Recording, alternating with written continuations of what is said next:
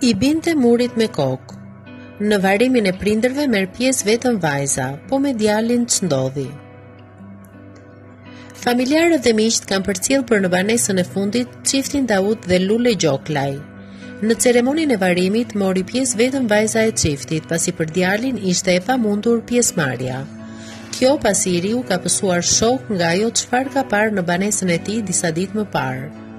Mësohet se djali i çiftit ishte dëshmitar i vetëm i tragjedisë familjare, duke parë fillimisht t'i vritet e ëma nga babai i tij dhe më pas këtë të fundit duke u hedhur nga kati i katërt i pallatit.